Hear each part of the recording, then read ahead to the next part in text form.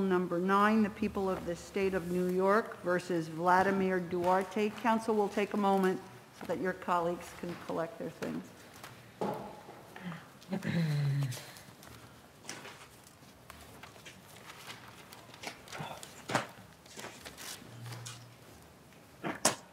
Good afternoon, counsel.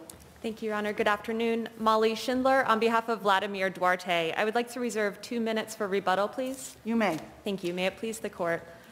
I would love to go pro se is an unequivocal pro se request that required the trial court to begin a McIntyre inquiry. It had no caveats, it had no conditions, it had no limitations. It was not made in the alternative to any other request. It was timely and it was unambiguous. This, the trial court's failure to conduct any inquiry into that request necessitates reversal under a long line of this court's precedent since McIntyre. The request that he made when he said, I would love to go Counsel, pro can I se." just, uh, excuse me, Happy New Year. Just wanted to ask you, uh, just for clarification, your, your view of the appellate court's uh, decision on, on- on its first basis, not the alternative basis, on the first basis. Did the appellate court find that, yeah, it was clear, but in context, it's not what he meant, versus, no, it is unclear given this context? How, how do you read the appellate court's determination? I read its determination that it couldn't be unequivocal. It- The request couldn't have been unequivocal because it came in the context of expressing dissatisfaction with his trial attorney, which simply is not the law. It has never been uh, this court's holding. And in fact, uh, this court has repeatedly recognized that one of the primary reasons a defendant chooses to go pro se um, is because of dissatisfaction or distrust with his assigned attorney, particularly with an indigent defendant who does not have choice of counsel, cannot afford to replace his attorney if he's dissatisfied. So And merely- counsel, how do you read that colloquy, It- before we get to, I would love to go pro se, do you read that colloquy, well, let me just, is it that he's saying, my counsel's ineffective, he doesn't believe I'm innocent, therefore I don't want him, give me substitute counsel, or I just don't want him? How do you read that part of the colloquy? Well, he doesn't ask for a new counsel. He doesn't ask for substitute counsel. He certainly makes clear that he doesn't want this person. He's dissatisfied with this person. But what he doesn't do is then say, and therefore give me someone else. So you can certainly make an inference that that might have been what he was interested in. You can also make an inference that what he wanted was what he went on to say explicitly, that he wanted to represent himself instead. But you can't rely on that inference, even if you believe that what he was looking for was new counsel at that point in time. You can't rely on an inference over what he went on to say explicitly and unambiguously that he wanted to proceed pro se. So, counsel, what deference do we give to the trial judge here to interpret the defendant's demeanor, his facial expressions, and things of that nature when it's unfolding right in front of the trial judge? What- Well, she didn't give us any information about her reasoning. She simply ignored the request and moved on to the suppression hearing and shut it down in, in no uncertain terms. So she didn't give us the ability to see if that she was making any kind of finding. Um, and without any information from her, we have to take his words at face value because they are, they're plainly in the record. Can we infer she didn't think it was serious? We, we can't infer that, Your Honor, because she, she didn't give us any reason for that, but it also wouldn't have been, there was no indication on the record that would allow us to make that conclusion that it wasn't serious either. For example, in People v. Laval or Levi. Did he tell um, her he loved her at one point?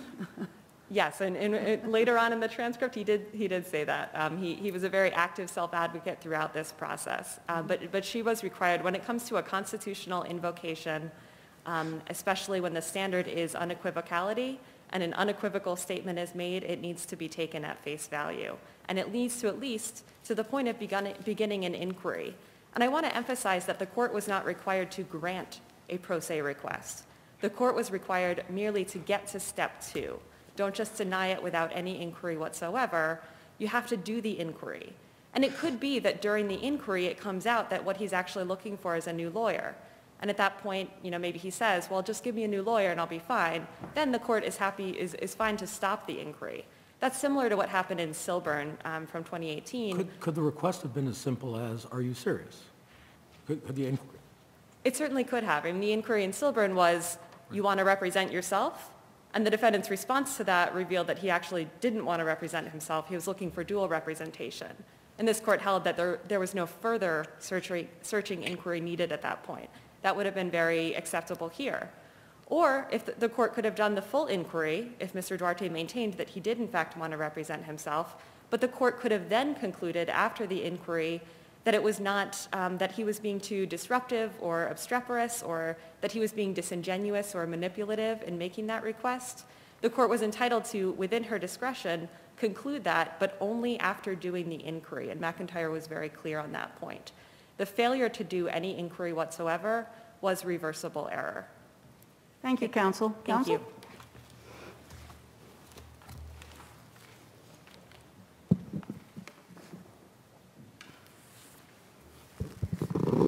Good afternoon, Your Honors. Jeannie Campbell Urban for the people of the state of New York. Um, This court has, has made very clear that a defendant cannot use a request for self-representation as leverage to compel the court to grant its, un- the defendant's underlying request for reassignment of assigned counsel.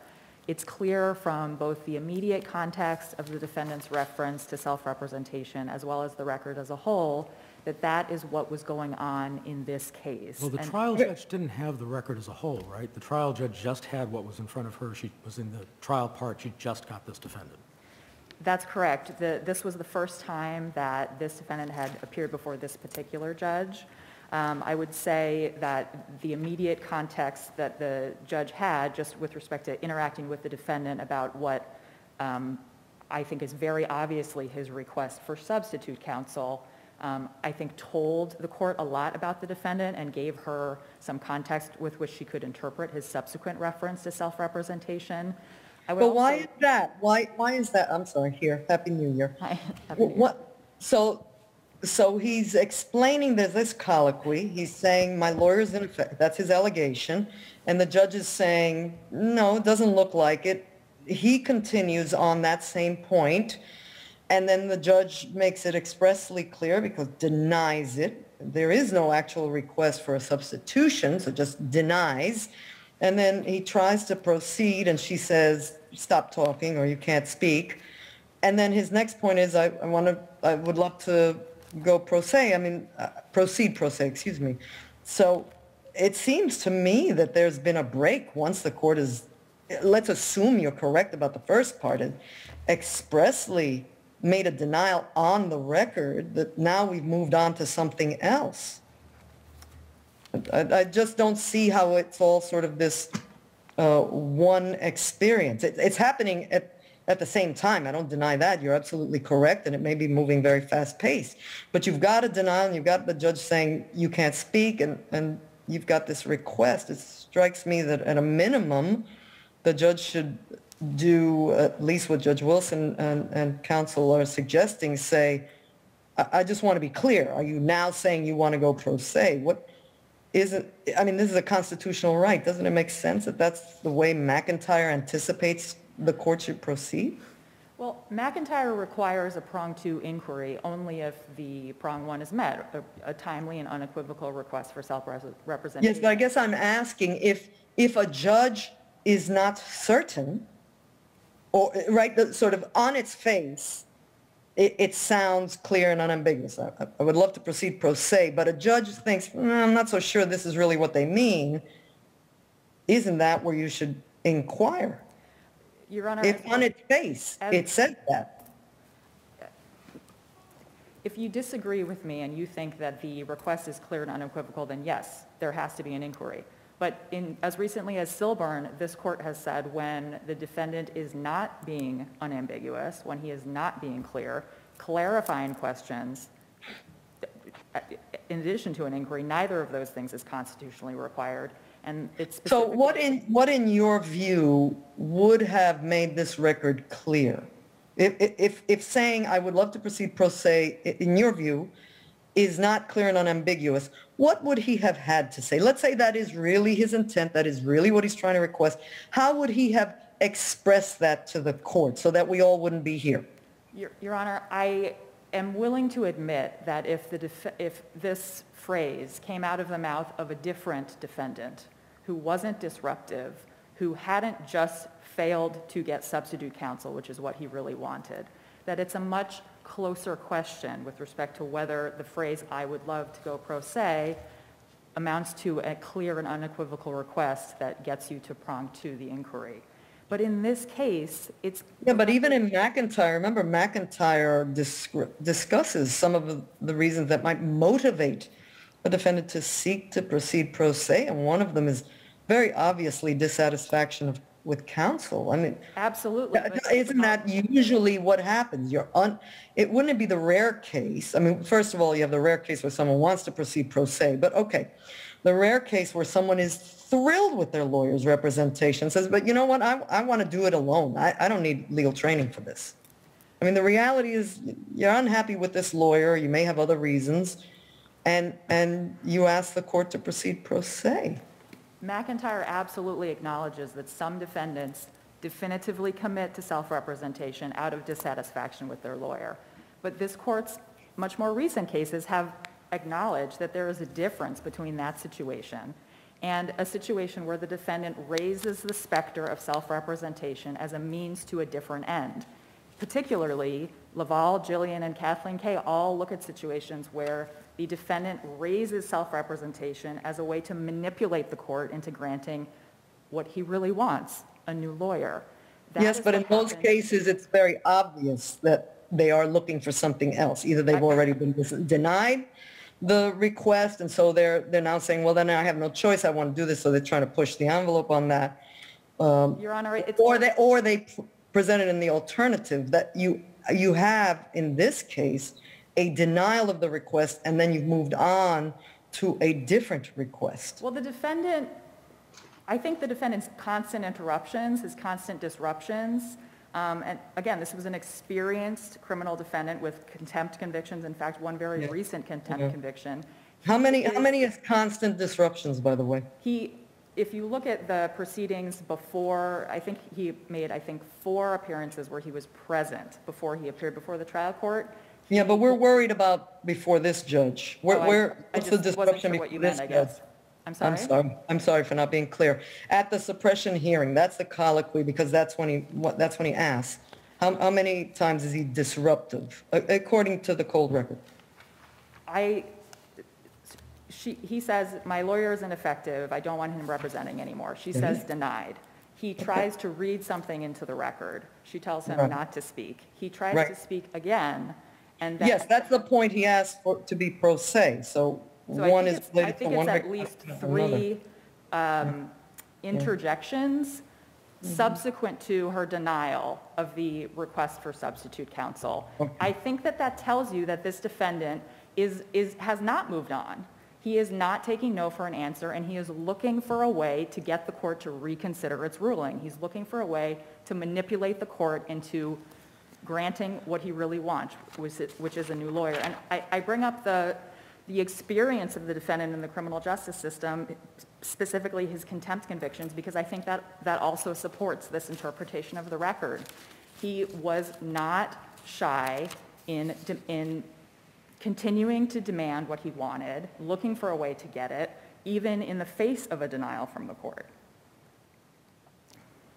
Once a defendant expresses dissatisfaction with counsel, are, is there a different set of words the defendant needs to use beyond, I would love to go pro se, to, to trigger the inquiry? Your Honor, what's required is a, a clear and unequivocal request, but what that looks like, I think, does I know, depend you on the seem to be saying that if, if the defendant hadn't expressed any dissatisfaction with counsel and had just made the request, I would love to go pro se, you would say there should be at least an inquiry. At- Are you serious? Do you really want to do that and go from there? I would ask for more context if I could know it. What's the tone of the person's voice and what else was going on if it wasn't, Yeah, but those are things that we can't review, well, right? So that's a great point. But, but we have to be able to review these, right? So we have to do it on the record that we have. I, I, that's true. So. I think that I we guess what I'm asking is if we have had a record here in which the defendant hadn't, I, I take your view to be that if a defendant expresses dissatisfaction with counsel, there's more that the defendant needs to say to be able to trigger the initial inquiry than if the defendant hadn't said that. I think that's fair. I think that's so fair. I think those much more? circumstances. What, what words would have worked? Well, again, I think that's a difficult question because it all depends on the context. I mean, here you have a defendant who has shown himself to be disruptive, who has shown himself to be someone who doesn't really um, listen to instructions to stop speaking. I think that the, the, so. Those these- might be good reasons to deny him self-representation. I, I think, th- I think that's true, but I also think that that tells you something about what the defendant is willing to do to accomplish what he wants. I think that tells you that this defendant is willing to manipulate the proceedings. Um, Counsel, do you think the words, "I want to go pro se" versus "I would love to go pro se," do you see a difference there? I do see a difference, and I would point out that when the defendant asked to waive a jury trial and, and proceed to a bench trial, he said, I would, uh, he said, sorry, he said, I want to do this trial by judge, not jury, please. I do think that there is a distinction between I would love and I want. And So do you when- think there- So when, I'm sorry, Go ahead. go ahead. And do you think we should as- ascribe any relevance to the fact that this defendant never mentioned it again? I absolutely do. I mean, look at how, look at how much this defendant talked after s- making the single reference to self-representation. He interjected a lot. At one point, he told the judge that he loved her. He wasn't shy about speaking up, and he never said a thing about going pro se ever again. I, I also just I- related to that. I wrote down the first words that Ms. Schindler said, which were, "I would like to reserve two minutes for rebuttal, please." Did you understand to be equivocal, or she was asking for two minutes? I- That's, that's funny. I must not have even heard that. Um, Again, I, I would say that context matters. Like, she's the She's appellant. We know she's asking court, for and rebuttal. That's somewhat defer- deferential to say to a court, "I would like," because she's asking for permission.